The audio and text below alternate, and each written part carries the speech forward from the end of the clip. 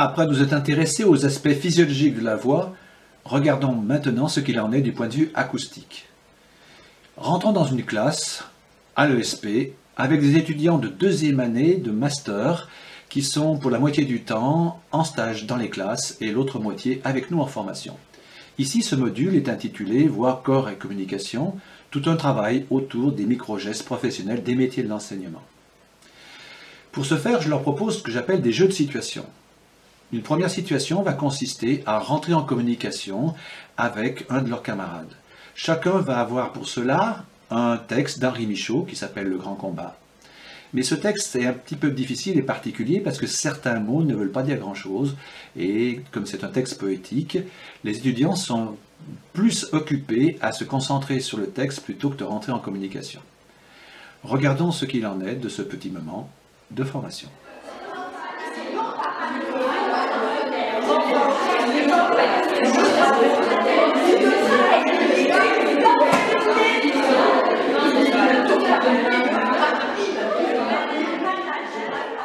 À partir de cette situation, regardons quels sont les paramètres que les étudiants sont capables de repérer, que ce soit l'articulation, l'intonation, l'accentuation et bien d'autres paramètres encore qui contribuent à la construction du discours.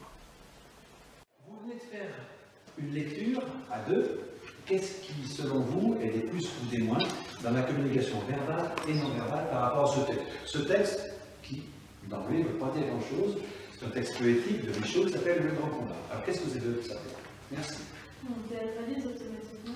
Automatiquement, ça vous oblige à théâtraliser. Qu'est-ce que tu entends par théâtraliser? On met l'intonation alors qu'on ne comprend pas forcément ce qui est. Alors, On met de l'intonation, c'est un mot qui cache quoi? Intonation, ça veut dire quoi? Intonation, on prend. Intonation. Le volume. Alors le volume, non, c'est autre chose. Le volume, on va le voir après, pourquoi pas. Tu viens de dire ton. La racine du mot ici, c'est ton. Intonation. Qu'est-ce que c'est que l'intonation Ça veut dire quoi mettre le ton Essayez de l'expliquer. C'est, regardez, souvent notre geste, c'est des variations. Mais quel type de variation? Une intensité plus ou moins modérée. Alors l'intensité, ça va être le volume. Intensité, C'est quand on module la voix. ça veut dire quoi quand on module la voix émotion. Ah, on module la voix en fonction de l'émotion, on est d'accord. Mais l'émotion, c'est autre chose. L'intonation va aider l'émotion. C'est rigolo parce que émotion, étymologiquement, ça veut dire mettre en mouvement, émouvoir. hein. On revient sur ce mot-là.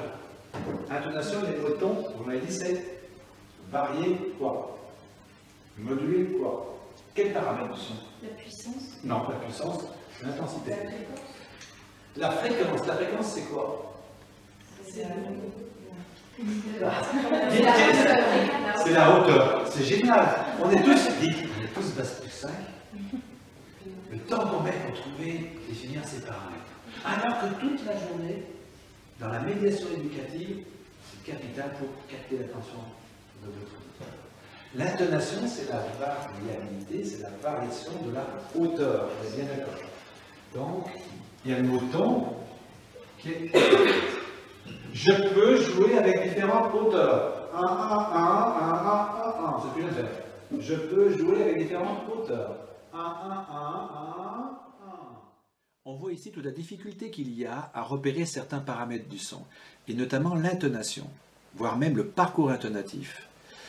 En effet, quand on est sur une seule note, on vient très vite monotono, donc monotone. Et je me suis aperçu que pour les étudiants, il était loin d'être évident de pouvoir varier à volonté la hauteur du son. Ce qui est facile pour un musicien ne pas forcément pour quelqu'un qui n'est pas habitué à gérer ce petit micro-détail, celui de parcours mélodique. Ici, avec la difficulté de ce texte, nous rencontrons un point important, c'est celui de se confronter à sa propre résistance, si j'ose dire ainsi, c'est-à-dire à ses propres émotions et la peur de pouvoir se tromper. Comme le texte est difficile, regardons peut-être quelles sont les opérations mentales dont on a besoin pour décrypter, déchiffrer, comme le musicien un texte, avant de lui donner un sens et que ce sens soit mis en scène, on pourrait dire, avec tous les paramètres du son. Qu'est-ce qu'on a trouvé d'autre aussi dans la communication verbale ici et non verbale Les allitérations, elles nous j'avais marqué du coup à articuler L'articulation ici prend une place toute particulière. De fait, ça nous oblige à articuler. Mais ce texte, ça vous l'avez découvert, puisque les mots, comme tu dis, on ne les connaît pas vraiment, nous oblige à articuler. Quand on se confronte à quelque chose qu'on ne connaît pas, qu'est-ce qui se passe ici? Qu'est-ce qui s'est passé dans cette lecture Oui. On lit et c'est plus automatique. On, lit vraiment. Euh, ah, c'est plus automatique, on lit vraiment. Ça veut dire quoi? On lit. On décrit. Comme un, comme un enfant, oui. On le segmente. On le segmente en quoi? D'accord? Alors on fait du béaba, finalement. On voit les lettres, on les. C'est rigolo, finalement. On doit passer par cet espace-là pour arriver à comprendre quoi ici. Il l'embarque, non, par où Et l'Inde. Contre terre, ça marche. Vous avez retrouvé, ça marche Après, on va essayer de se dire quelles sont les opérations mentales dont on a besoin pour construire ici du sens par rapport à ça? On voit bien ici toute la difficulté qu'il y a à rester maître du jeu dans l'art oratoire, dans la maîtrise des différents paramètres musicaux. Cela nous permet d'aborder ce que nous appelons la construction dynamique d'un discours, qui, en tension détente, va créer l'attention avec deux T de l'auditeur. La musique du mot, qu'est-ce qu'on constate sur ce Je vais appeler ça le parcours intonatif. Il l'emparouille et il entonne ce contre-terre. Ah, on fait des pauses. Ces pauses, qu'est-ce qu'elles ont comme caractéristique? Il l'emparouille et l'endosse contre terre. Ça se dépose. Bien sûr, je ne vais pas le dire comme ça, pourquoi? Il l'emparouille et l'endosse contre terre, oui.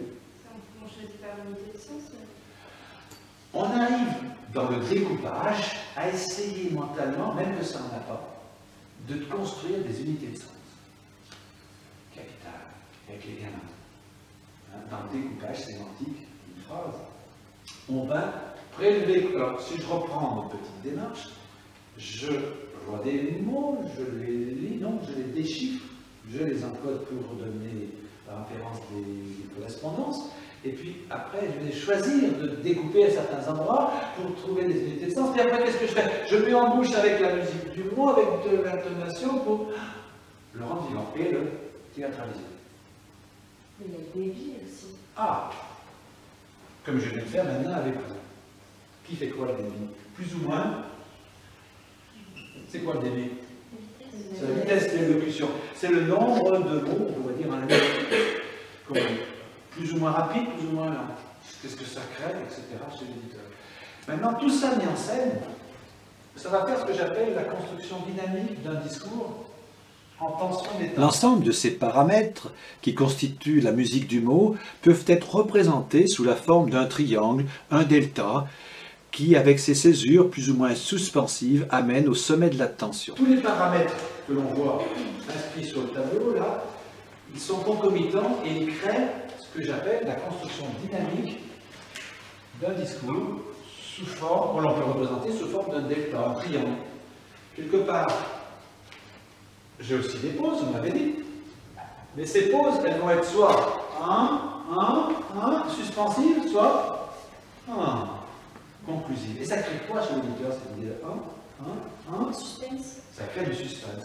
Et c'est ce qui crée l'attention de l'auditeur. Dans l'art oratoire, la construction dynamique du discours avec des césures plus ou moins suspensives qui vont jusqu'à 1, on pourrait dire un sommet, crée l'attention de l'auditeur. D'accord? Tous les jours, on s'en sert. On devrait s'en servir dans la répertoire de l'école, notamment réflective, maternelle, comme vous le disiez. La lecture aussi, c'est fait tout ça. Et surtout, c'est ce plaisir de mettre en bouche du mot et de jouer avec le mot. Et le plaisir de donner du sens en essayant mentalement ben, de le construire avec la restitution qu'on peut en donner des paramètres du son. Il nous faut enfin nous intéresser à l'accentuation. L'accent signe et marque la conviction de l'orateur. En appuyant sur la syllabe d'un mot, il vient le mettre en valeur et l'idée qu'il défend. Il est toujours précédé par un silence, et ce silence crée une suspension, une attente qui capte davantage encore l'attention de l'auditoire. Si je reprends ces mots, il nous manque peut-être quelque chose d'essentiel ici aussi. J'abuse pas mal depuis avec vous, et ce qui fait que je vous tiens un petit peu Il y a tout ce dans la communication qui va rentrer, c'est la gestuelle. Tout à l'heure, cette gestuelle, pour certains d'entre vous, elle commençait à être présente. Hein. Donc certains étaient rentrés dans la scène, si veux dire, du jeu du tête. Je des sourires, vous reviviez d'une certaine manière, presque un grand combat. Quoi d'autre Et moi, ici, c'est la gestuelle. Le regard. Alors ça, c'est assez intéressant. On va y venir juste après. Enfin, tout est intéressant, pardon. Le regard. N'empêche que, ici, ben, vous n'avez pas vraiment regardé l'autre. Alors on va y revenir.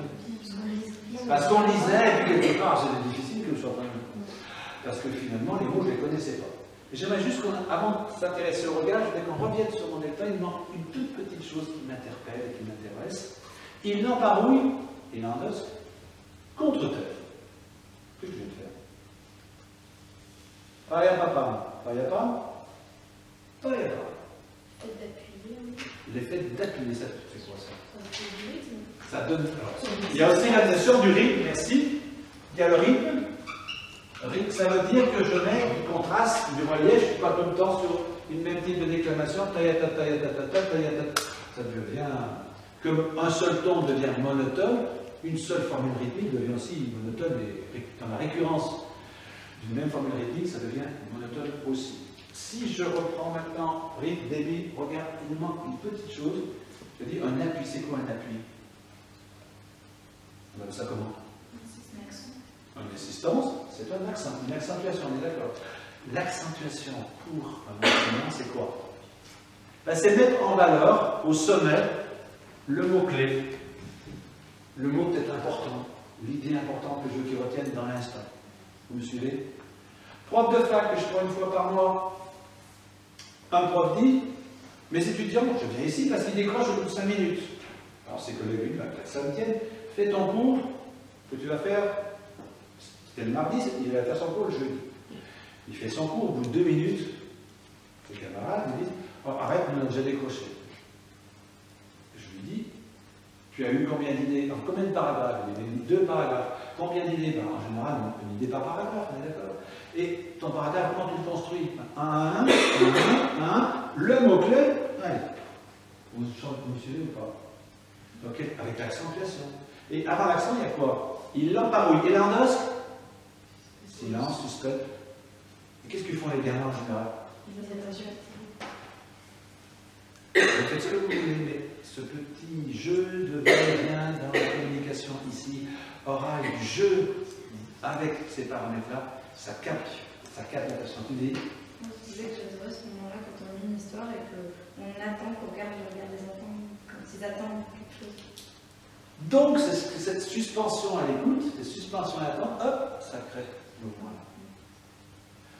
le travail ici, on est bien sur la construction dynamique d'un la construction dynamique d'un discours. Nous avons essayé dans cette petite vidéo de mettre en lumière, en valeur, les paramètres de la musique du mot que ce soit l'intonation, que ce soit les césures suspensives ou conclusives, l'accentuation, autant d'éléments qui contribuent à capter l'attention des élèves en classe. Nous voulons aussi ajouter, comme disait cette étudiante, tout ce qui est de l'ordre du non-verbal, c'est-à-dire la gestuelle, mais aussi finalement l'intention qu'on véhicule. En tout cas, la voix, cet outil de travail, permet justement, dans la bonne médiation, à rentrer en contact avec nos élèves.